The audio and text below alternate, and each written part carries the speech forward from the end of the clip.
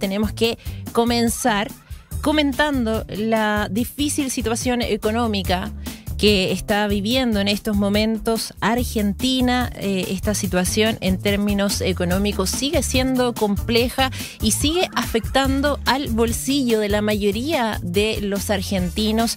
Es muy, pero muy complicada la situación. De hecho, expertos dicen que la clase media apenas existe y la clase pobre es mayoritaria. Y de hecho, así lo da, lo da a conocer eh, un, un estudio un estudio realizado por los investigadores del Centro Estratégico Latinoamericano de Geopolítica, conocido como CELAC, quienes analizaron los datos aportados por la encuesta permanente de hogares del primer trimestre de este año y los resultados son impresionantes. Revelaron que el número verdadero de los índices de pobreza en Argentina es de 73,7%. Y es un dato además ¿Y por qué digo el verdadero índice? Es porque no se conocía este, este dato hasta estos momentos. De hecho, em, esto se ubica casi 20 puntos por encima de lo que reveló el Observatorio de Deuda Social de la Universidad Católica Argentina, que fijó la cifra en un 55%. Así que por eso eh, es tan revelador, impresionante también, que en estos momentos el 73% de los argentinos esté viviendo en situación de pobreza. ¿Qué dicen los investigadores de CELAC? Mariano Dondo eh, y Alfredo Serrano eh, según una nota que estoy revisando en diariosats.cl, señalan que casi que podríamos afirmar que el ingreso promedio es muy poco representativo de la realidad social, agregando que con una distribución tan desigual resulta mucho más riguroso analizar el valor de la mediana que el de la media.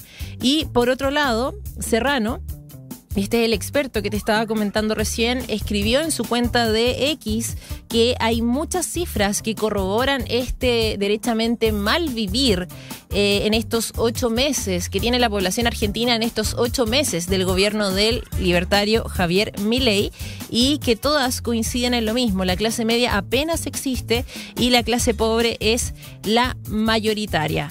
Pero como si esto fuera poco, hay datos aún eh, que nos preocupan más y me imagino que a muchos y muchas los van a sensibilizar aún más porque tiene que ver con la pobreza en la infancia, la pobreza que en estos momentos eh, están viviendo niños, niñas y adolescentes. Fue el Fondo de las Naciones Unidas para la Infancia, más conocido como UNICEF, informó sobre esta compleja situación que enfrenta la niñez en nuestro país vecino, en Argentina, en medio del alza de la pobreza. Mira, un estudio del capítulo trasandino del organismo de la ONU, o sea, de UNICEF Argentina, da cuenta que un millón y medio de niños, niñas y adolescentes de ese país se ven forzados a saltarse al menos una comida por la precariedad que enfrentan sus padres.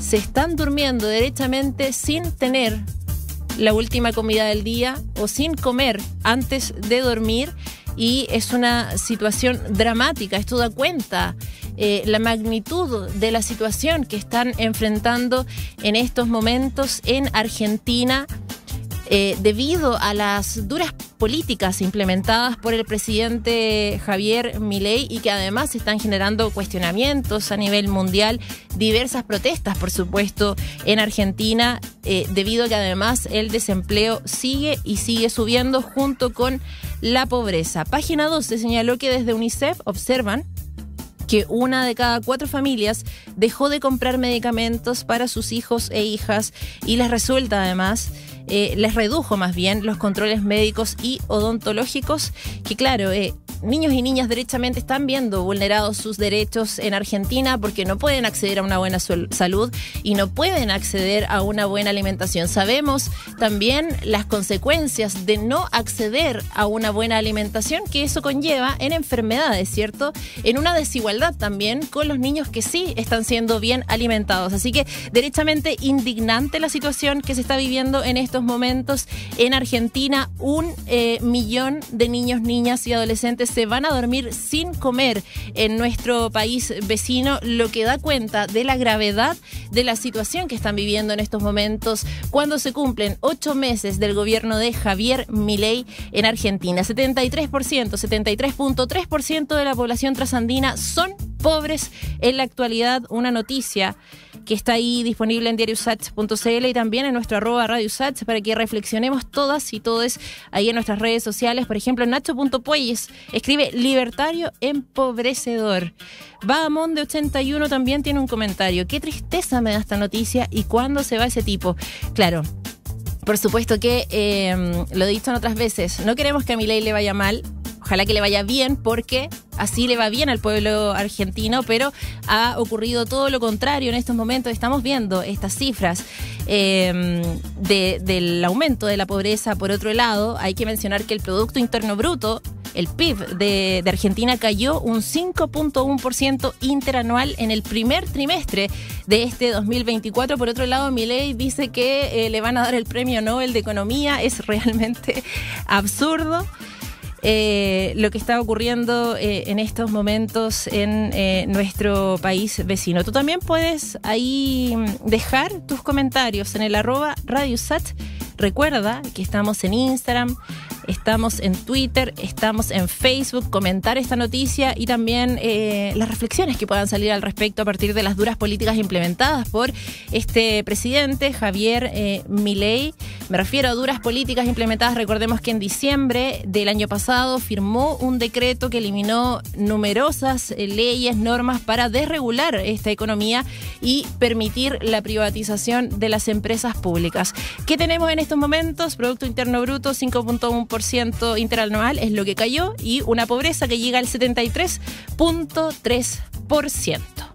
Vamos a seguir avanzando después de esta dura noticia, por supuesto, que es difícil, pero eh, tenemos que seguir revisando datos, por ejemplo, aquí en Panorámica.